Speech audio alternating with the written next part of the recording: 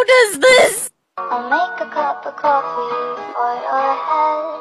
I'll get you up and going out of bed. Turn it to this. Cut my life into pieces. This is my last resort. Suffocation.